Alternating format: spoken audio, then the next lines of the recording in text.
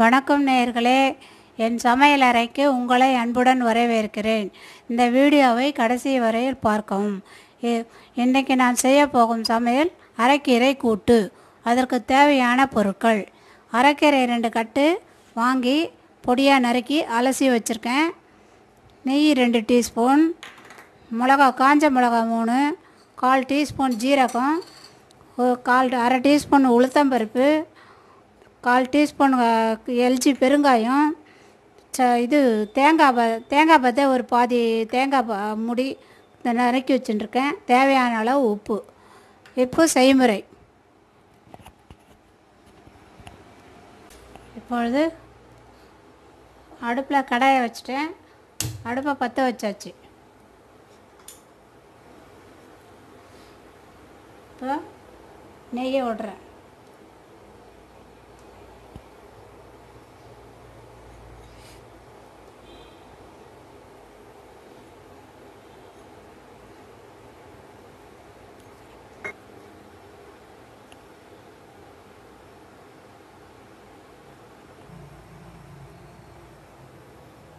உளுத்தம்பருப்பும் போட்டேன். நெய் காஞ்ச உடனே உளுத்தம்பருப்பு போட்டாச்சு.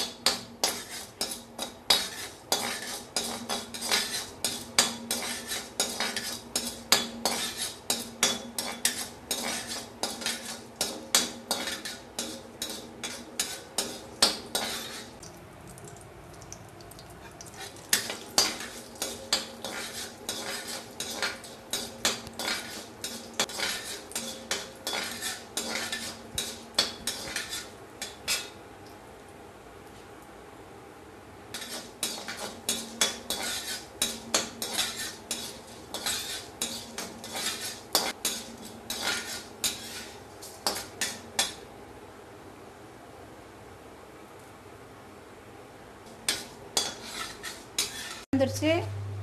இப்போ கீரையை அலசி வச்சுக்கோங்க.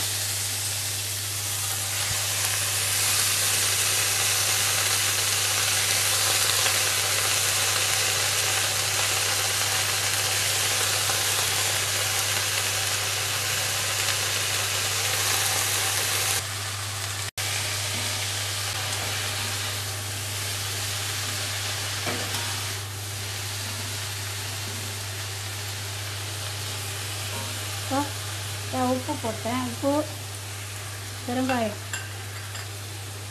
போட்டு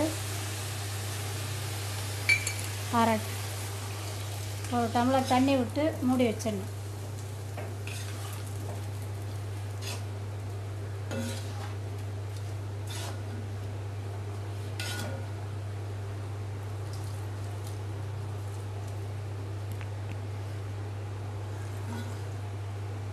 இதில் தேங்காய் பத பதையாக நறுக்கி வச்சுருக்கேன். இந்த தேங்காய் போட்டுக்கணும். காஞ்ச மிளகாய் மூணு ஜீரகம். இதை போட்டு நைஸாக அரைக்கணும். தண்ணி.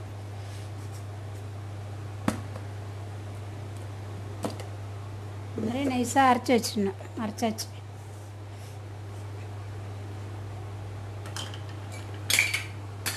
இப்பொழுது கீரை வந்து போச்சு. இந்த அரைச்சி வச்சுருக்க தேங்காய் ஜீரகம் காஞ்ச மிளகாய் எல்லாம் அரைச்சிருக்கோம்.